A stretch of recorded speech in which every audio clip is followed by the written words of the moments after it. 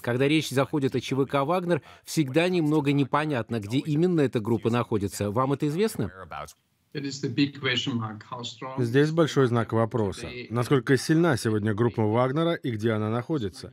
Потому что мы получаем различные сведения. Первое — это то, что часть бойцов Вагнера перешла в регулярную российскую армию. Некоторые из них уехали в Беларусь, другие в отпуске, как рассказал господин Пригожин.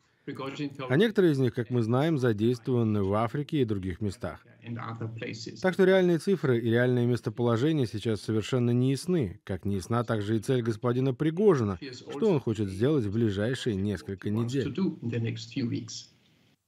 Беларусь, Россия. Почему это важно?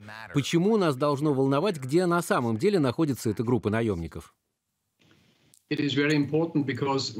Это очень важно, потому что никто не знает, какой будет следующая цель этой группы и где их задействуют. С самого первого момента в конце июня было ясно, что они не задержатся в Беларуси надолго.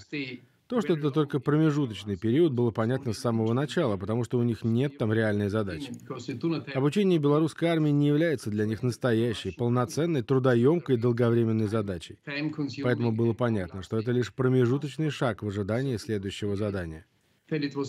А что это может быть? Может ли это быть очередная операция в Украине? Может ли это быть более активное вовлечение в Сирии и Африке, в африканских государствах и так далее? Или это может быть расформирование группы? Это не в интересах Пригожина, но может быть в интересах Путина?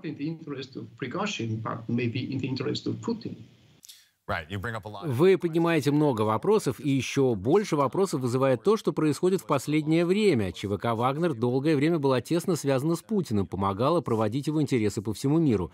Затем произошло июньское восстание, которое было очень недолгим. Какова, на ваш взгляд, сейчас взаимосвязь между группой и военными интересами России в области безопасности в мире? Есть основания полагать, что связи с российскими регулярными войсками по-прежнему сильны, как со стороны самого Пригожина, так и со стороны его группы, и что существуют тесные связи также с очень важными, я бы сказал, политическими фигурами в России. Каково же качество отношений с Путиным, для меня не ясно, потому что Пригожин — это большая политическая угроза для Путина. Поэтому предоставление ему важной роли в будущем не может быть в интересах господина Путина. Это один из ключевых моментов, потому что сама по себе группа Вагнера может быть очень полезной для президента Путина и России, но господин Пригожин по-прежнему представляет угрозу для него и его политической роли. Поэтому я ожидаю, что может произойти разделение между господином Пригожиным как личностью, как лидером и группой Вагнер как инструментом.